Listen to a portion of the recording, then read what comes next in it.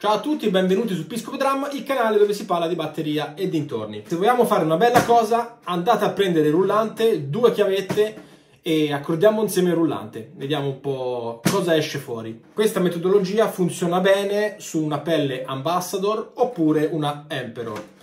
Meglio su un Ambassador. Allora, ovviamente io l'ho già fatto, come nei migliori programmi televisivi, va bene? Mi sono portato avanti. Alla pelle risonante cosa ho fatto? Ho dato due giri di chiavetta per ogni tirante. Quindi voi cosa fate? prendete la bacchetta la cordiera la tirate giù bene? mettete la bacchetta così senza rompere le cordiere che sono molto delicate la mia è già difettosa. Comunque io devo dare in pratica un reset al mio rullante. Smollate tutto va bene? Poi con le dita va bene? Gli date una prima stretta va bene? Poi prendete la vostra bellissima chiavetta e date due giri completi per ogni tirante. Quindi mettete la chiavetta qui, fate mezzo, uno, uno e mezzo, due. Andate di là, va bene? Mezzo, uno, uno e mezzo, due. E così via per, tutte, per tutti i tiranti. Due giri completi per ogni tirante. Va bene? Basta, la risonante non la toccherete mai più. Fatto questo, capovolgete, prendete la pelle nuova, dai fatelo, facciamolo insieme. Ho dovuto un po' stravolgere i piani, ma ho trovato un modo semplice per farvelo capire. Perché a me manca un tirante qui, perché, perché purtroppo questa batteria ne ha, ne ha passate tantissime e ha passato diversi traslochi, uh, veramente questa batteria è veramente la mia, mia seconda moglie. Comunque, e, e, quindi il rullante purtroppo non è stato conservato al meglio, è una Master Premium, quindi eh, una Master Premium tenuta bene tutta, ma il rullante ha avuto subito delle cadute e quindi è già tanto sequi, diciamolo. Ok? È un ottimo rullante in, uh, in betulla, va bene?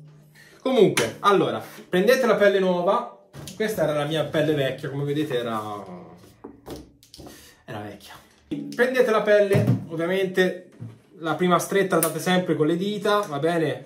Poi eh, eh schiacciate, prendete, prendete, la chiavetta, iniziate a stringere tutti i tiranti e poi, eh, eh, eh va bene, gli fate un po' di respirazione, un po' di massaggio cardiaco, va bene? Per, per, per, perché si deve assestare, si deve scaldare prima di essere accordato, va bene? Quindi mi raccomando non ci andate con le nocche, va bene, con il pugno, con, con, il gomito, perché altrimenti ci lascerete il solco. No, andateci sempre con il palmo della mano, va bene? E eh, eh, una volta che l'avete un po' riscaldata, che l'avete scollata, che l'avete fatta bene aderire al bordo, rifate un altro giro con ai tiranti, va bene, io qui non ce l'ho, faccio finta.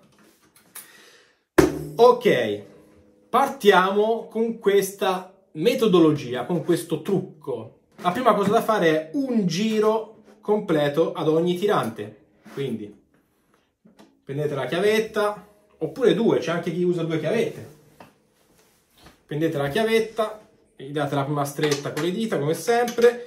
Quando vedete che stringe, prendete la chiavetta e fate mezzo e uno. Prendete da quello a fianco. Va bene, di qua mezzo e 1. Poi di qua, mezzo e 1. Di qua, mezzo, 1. Di qua, mezzo e 1. E provate a suonare e vi darà già un suono. E con quel suono lì, molti ci registrano anche dei, dei brani, eh? nel senso, comunque è un suono, rimane sempre un suono. Ora cosa fate? Avete fatto? Faccio mucciaccia. Fatto? Ok? Ci siamo? Magari mettete in pausa. Molto bene. Ora che l'hai fatto, dai un giro completo al tirante alle ore 12, quello davanti a voi in pratica, va bene? Date un giro, quindi prendete la chiavetta, mettete lì mezzo, uno. Poi andate a quello alla sua sinistra e gli date mezzo giro, 0,5. Tac, mezzo giro e vi fermate. Andate a quello alla sua destra mezzo giro e vi fermate. Dopo aver fatto questa cosa in pratica, cosa succede? La pelle tende a tirarsi, a schiacciarsi più qui e tende a tirarsi più, a, tir a tirarsi su di qua. a questi, io qui non, non, non ho questo come ho già detto per la quinta volta forse, queste qui dovete togliere un giro e mezzo, quindi meno uno e, uno e mezzo di qua e meno uno e mezzo di là. Eh, mezzo, 1, 1 e 5, mezzo, 1 e 1 e 5, va bene? E questo lo mollate. Arrivate a questo punto, otterrete un suono, va bene? Otterrete un suono. Questo l'avete mollato, quindi ora siamo in pratica uguali, siamo nella stessa situazione.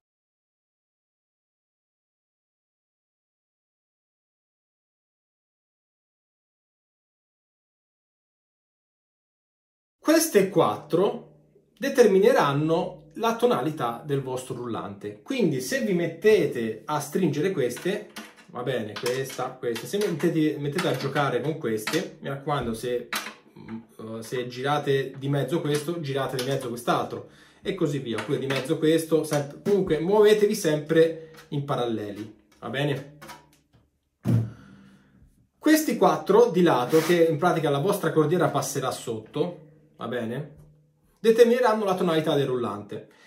Queste tre invece si preoccuperanno soltanto di darvi delle armoniche in più al rullante. Quindi, cosa voglio dirvi? Che una volta che avete scelto una tonalità al vostro rullante, quindi più chiaro o più scuro con queste quattro, lasciate com'è. Questo l'avete smollato, avete queste due, suonate e ottenete un suono.